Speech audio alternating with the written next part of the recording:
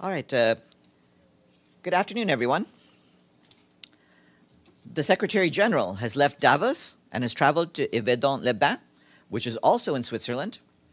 He will take part in the 17th seminar of his current special and personal representatives and envoys.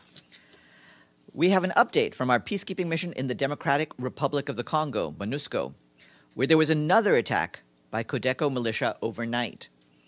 This time, the attack took place in the Plaine Savo camp for displaced people, nine kilometers east of Djugu in Ituri province. Seven people were reportedly killed and many others fled the site.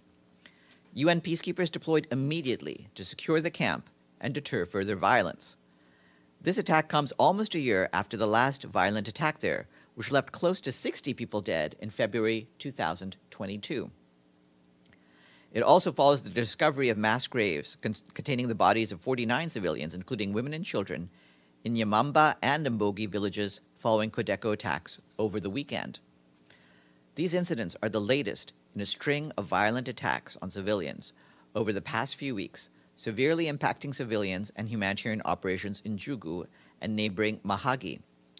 This adds to an already dire humanitarian situation in Ituri province, which currently hosts 1.5 million displaced people.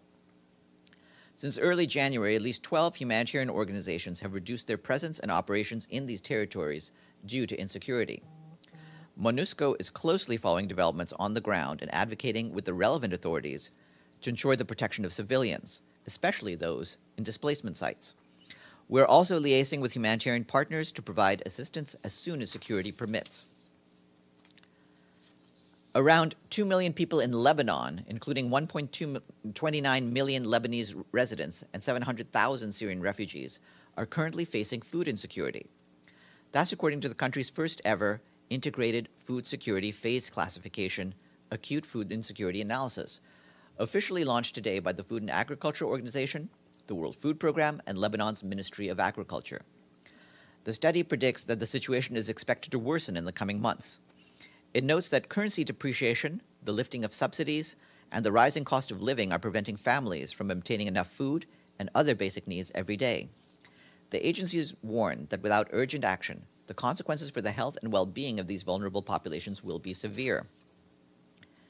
In Madagascar, our team, led by resident coordinator Issa Sanogo, continues to support people impacted by the ongoing drought in the south of the country.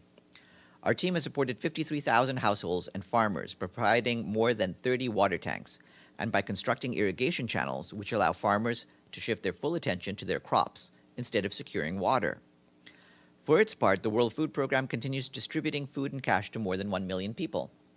WFP also just launched an initiative to establish solar powered hubs, a sustainable water source and telecommunications in remote areas.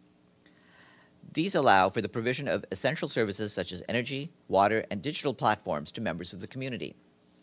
Our colleagues on the ground are concerned that 12 out of 21 districts in the Grand Sud risk, seeking, risk seeing the situation deteriorate into a food security crisis this spring, with nearly 480,000 children currently at risk of acute malnutrition and needing urgent support. The UN High Commissioner for Human Rights, Volker Turk, said today that proposed amendments to the North, Northern Ireland Troubles Legacy and Reconciliation Bill should adequately ensure respect for the rights of victims, survivors, and their families, noting that the draft legislation, as it stands, appears to be incompatible with the UK's international human rights obligations.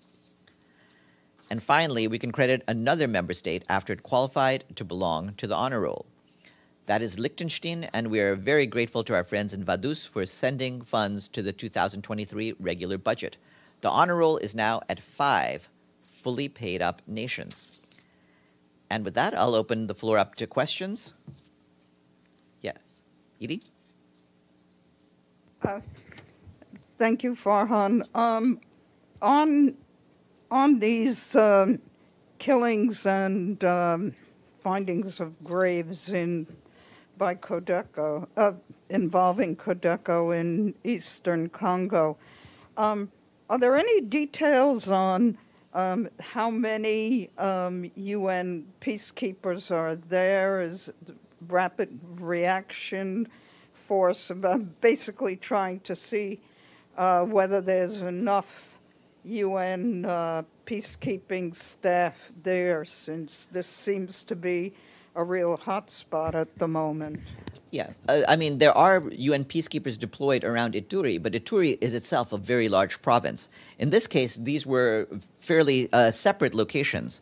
Nyamamba and Mbogi are about 30 kilometers away from the town of Bunia, and the IDP site that was attacked last night is about 75 kilometers from Bunia. So, so it, it's a wide sweep of land. It takes uh, some effort to, to get there. Um, is that it for questions? Okay, one more from you. I, I was um, going to ask you um, one other thing. Um, on on the safer tanker, you gave us um, an update the other day, but it didn't include um, how much additional uh, funding is going to be needed because of the additional cost of finding a crude oil tanker that can hold that massive amount of oil, either for buying or leasing. Uh, yeah, uh, there, there there is a substantial amount uh, of money being needed. It, it, it's in it's in um, uh, the it's it might be in tens of millions of dollars more. What what we have been told is that the increase in cost for a very large uh, crude container is uh, is is more than fifty percent uh, of of the original cost. So it, it could it could be something in the neighborhood of about twenty million dollars, but that's a rough figure. Uh, we we are trying, and we are uh, and we are also seeking some support uh, from um, from other contributors to get uh, to get the the funds needed.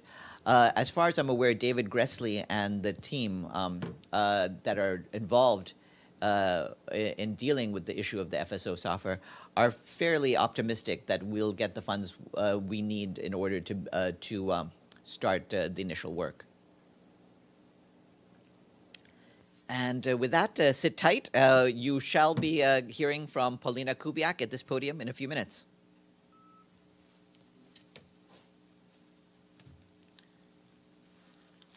I think that might be her now. Let's see.